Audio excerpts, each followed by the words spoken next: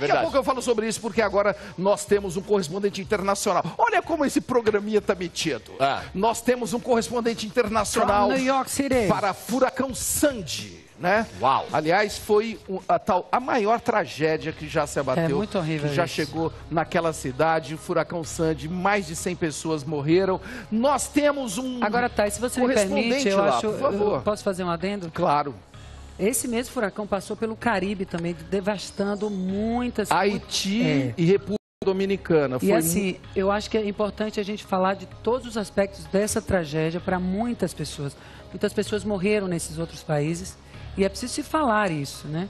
Estado- os Estados Unidos têm uma notoriedade e a gente sente muito. Ninguém fala que no Haiti, é, na é República que tem- Dominicana. Cuba é também. Gente, Em Nós Cuba vamos ver também. agora o nosso repórter Maurício Meirelles. O que me espanta, o que me espanta nesse programa é que nós temos repórteres monoglotas que são mandados para os Estados Unidos fazer reportagens sobre o furacão Sandy. A coisa é muito séria. Maurício Meirelles vai mostrar. Será que o pessoal tem humor para lidar com furacão? Será que tem? Difícil, não? Maurício Meirelles foi aventurar-se pela cidade de Nova York com o seu The Book is on the Table. The Book is on Vamos ver o que, que vai rolar, vai.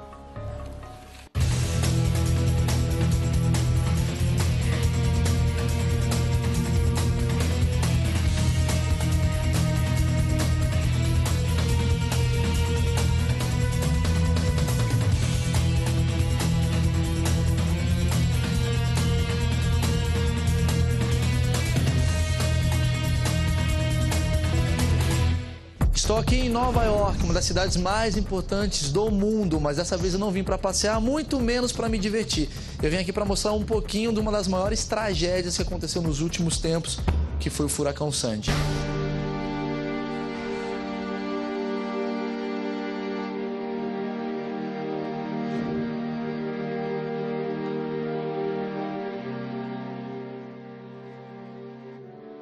Esse fenômeno natural atingiu vários países, principalmente aqui, na costa leste americana, onde várias áreas foram totalmente devastadas e já foram contabilizados até agora mais de 100 mortes. Os detalhes sobre essa tragédia você confere agora no CQC.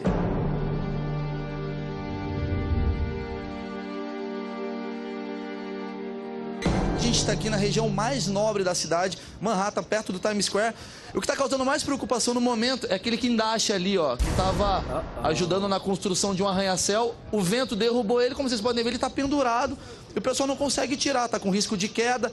Virou ponto turístico, a pessoa aqui batendo foto. Carlos, você mora aqui há quanto tempo? 20 anos. O que, que afetou aqui Manhattan? Afetou geral aqui, de, de 34 para baixo, não tem luz, não tem, sab- não tem metrô. E tá a parte de baixo tá toda alagada Você ainda. está se sentindo no Brasil?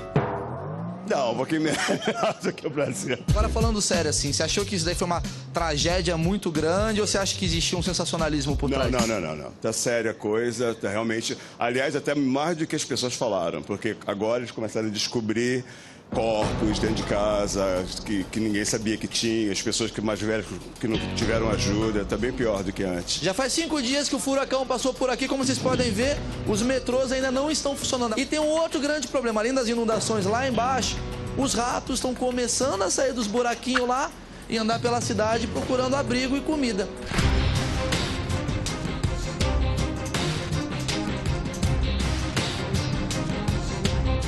Estamos aqui nos arredores de Nova York. Olha aqui o grande problema, olha essa fila aqui, ó. Pessoal querendo gasolina. Tem gente aqui há muito tempo. I've been here to get gas. I've been here since yesterday, 7 p.m. And I'm still here. And it's what? One, I don't even know what time is it, and we're still here. But I see that police officers come with their personal cars and they get to get first online, like this one right here. And it's gonna be over. Who knows? We just we're being patient as much as we can. Where, where you guys from? Brasil. Brazil. Oh man, beautiful place. What's that drink you guys drink? Cachaça. That's what we need. Some a lot of cachaça right now. We need to fill this up with cachaça, and then we have no ready to drink. That's what we want. We want some drink, and we'll be happier. Só pra você ter uma noção, essa daqui é considerada a quarta maior catástrofe dos Estados Unidos, ficando atrás só do furacão Andrew, do furacão Katrina e, é claro, do 11 de setembro, que por acaso aconteceu aqui, ó, a três quadras dessa região. It's very dangerous here, this region. very dangerous. So we recommend people not to come to the city at all.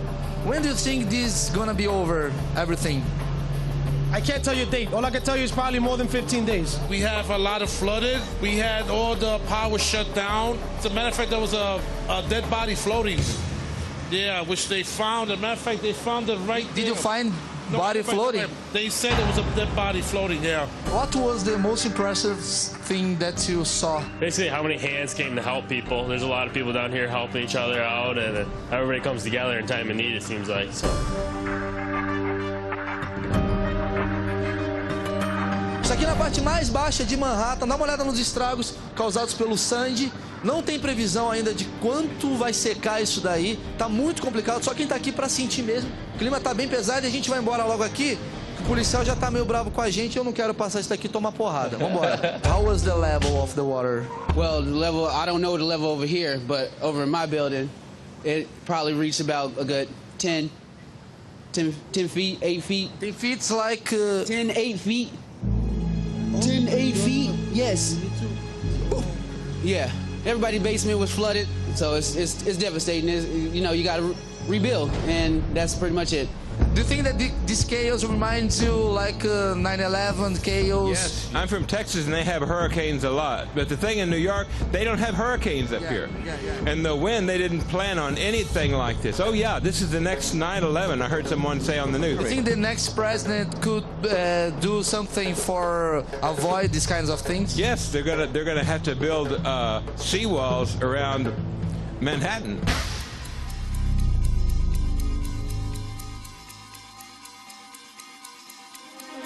What was the most impressive thing that you saw during the hurricane? I mean, this road was a river. It was pretty amazing. and you are asking for a boat right now?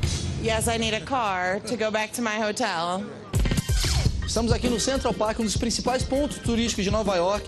Eu não estou entendendo muito de destruição, afinal cheguei há pouco tempo, por isso que eu vou falar com uma das figuras mais ilustres dessa tragédia toda, que é a Nana Gouveia. Tudo bem, Nana? Eu sou a figura ilustre da tragédia. Você é, você é a Miss Furacão. Meu Deus. Explica o que, que aconteceu. Você fez um ensaio sensual no meio da tragédia. Não, não, não é um ensaio. Não, não tem nada de sensual naquilo. Aquilo é meu comportamento normal. É, Você é sensual até numa tragédia. eu não tava usando nada decotado, eu não tava com as pernas de fora. Nana, você não achou que faltou um pouco de bom senso por parte do furacão de ter vindo no inverno, quando você não tava de biquíni, aquela coisa toda? Ah, olha só, eu passei o verão aqui e eu não botei biquíni. Você acredita que em Nova York eu não tenho biquíni? Tem que se preparar, vai que tem enchente aí em janeiro, você já tá. O que realmente tinha de, de estragos. Ó, olha o dono do carro pegando. No carro, fala com o dono do carro, vem cá, vem cá. Very affected by the hurricane. Yeah. Did you know her? How should I know her? She posed for a photo. Oh, she wants to use it for a photograph? Yeah. But you gotta watch out, it's sharp edges here. You don't want to sit on this. Viu, Nana? Não vai marcar sua bunda aí. Eu- Did you have insurance? Sure. Yeah? Yeah. Ah, so no problem. Well, car's 20 years old. How much do you think they're gonna give me? I love your country. I, I feel bad for your car. You're in love with my, with my car? You can buy it. Já ouvi falar que mulher dá em cima de cara com carro bonito. Agora com esse carro aí é sacanagem, né? Nana, a gente tá onde aqui? Essa grande parte aqui da, da cidade é onde aconteceu o blackout. A ambulância ali, você vê a árvore ali pendendo. Você não quer bater uma foto ali na ambulância ali? Não. Em cima tal, fazendo uma pose mais Não, eu sensual quero ali. ficar aqui falando com você. Vamos fazer o seguinte, vamos limpar sua imagem lá no Brasil. Vamos ajudar Nova York um pouquinho, certo? Vamos ajudar Nova York, claro. Tem pedaço de árvore aqui. Em vez de bater foto, vamos jogar na caçamba a árvore. Eu te ajudo. Vamos lá? Jogar na caçamba. Você falou aí na, na entrevista que você gosta dos furacões, que você fica com seu marido, fica tomando um vinho. Então tá aqui. Vai que tem uma tragédia aí em breve, um terremoto, tsunami. Tá um vinho aqui pra você ficar com seu marido. Muito obrigada. Estou aqui numa das regiões mais afetadas pelo furacão, a região do Queens. Dá uma olhada nessa casa aqui. Totalmente destruída. Se você vê a área inteira, toda a região tem algum problema, tem algum estrago. Ali você vê o carro jogado pro lado, você vê as árvores todas destruídas. Parece filme de terror aqui, cara. Só estando aqui pra você ver, tá tenso. What happened here? this area? My grandma's house, it just got flooded a lot. There's a lot of water on the inside. Everything on the inside's damaged. Chegando aqui, na minha opinião, na área mais impressionante de todas, porque 110 casas foram queimadas, famílias perderam tudo por aqui. Realmente muito tenso.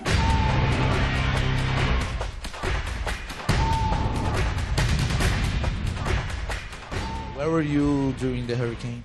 Um, I was actually in my office in the city. How many days before the hurricane uh, were you warned about it? Um, I think it was you know a good four or five days or so. Um, that everyone had time to plan ourselves. yeah, I think people had time, but it was just for you know we've had two. You know, this is the third year sort of in a row, um, and the past two really weren't as bad as they were. You know, people expected, and then this one was way worse than anyone I think expected. So, um, I think it exceeded everyone's expectations. I was also here on September 11th, so September 11th was north, and then this is south from my house, so it was like the same sort of thing. Did you have time to plan? Not really. A little bit, a little bit, but we knew, we didn't think there was going to be such a big storm surge to fill our house. At least I didn't think it was going to be that big. We have a basement that fills up with water, but uh, we didn't think it would come two feet into the house. But sure enough, it did.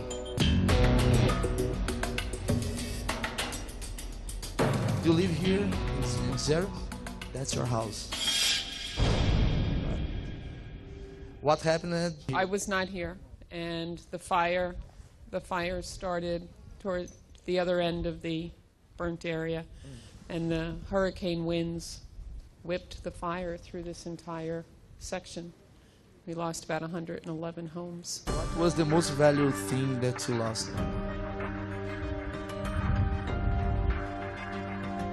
My scrapbook of all my years down here.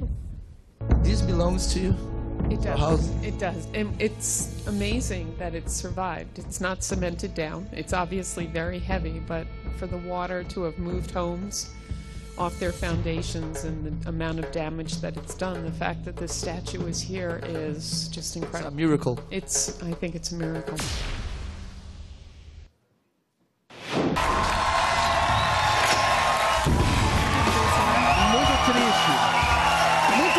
Triste, né, essa situação. É, a gente viu uma tragédia em New Orleans, né? A gente viu o Katrina em New Orleans, que foi horrível, mas foi longe, né, das câmeras. Você sabe que é o pior Agora em Nova? York, É você perder. Quando você perde a casa, perde o lugar onde você mora, você perde muito a identidade. E sofre muito sozinho, né? Esse- no desespero. Você viu que o cara falou: a gente tava. A casa foi embora, a gente não podia ficar na casa. É.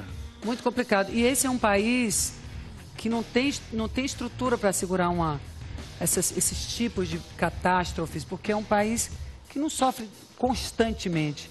principalmente em Nova York, né? Uma cidade pri- Principalmente em é Nova o York. Furacões- você viu o cara falou, sou do Texas, a gente está acostumado, Tá acostumado e se com protege isso. contra isso. O- E mas está preparado para isso, né? Surpreendentemente, Nova York não estava preparada. Não é um alvo tão frequente, É engraçado, né? pegou todo mundo de surpresa em Nova York. Foi, foi muita surpresa, inclusive, ver a Nana Gouveia posando de roupa. Foi a maior surpresa da gente. né? A Nana Gouveia. Realmente surpreendeu. correspo- Aliás, eu queria pedir desculpa para Nana Gouveia. Ela foi Ai, chamada de de. Miss Furacão. É Miss Hurricane. Hurricane. Ela prefere Hurricane. Verdade. Sim. A Nana Gouveia. O que É, você achou da Nana Gouveia trepada Nana- em cima das árvores Acho que caídas? Nana, ela veio junto com o furacão, assim. Ela tava no miolo, ela ela no tava olho. vindo. Ela E ela tava... fala línguas. Fala o quê? Línguas. Ela sabe tudo de língua. Pô, eu também sei, bicho. Eu falo inglês, espanhol. Você sabe tudo de línguas, Ivete? Pô, a língua é comigo mesmo. Ai, Ivete, a gente tá só começando a noite. Eu já tô pensando o que, que a gente pode fazer no Mas segundo você fala bloco. português, eu não vou ter que usar línguas com você. Ah, danadinha. Eu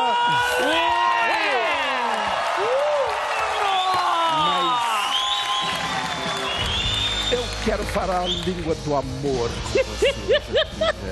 Desculpa a ignorância do macaco, eu falei um Toma! país que não está habituado a essas catástrofes. Eu, eu queria dizer Nova York.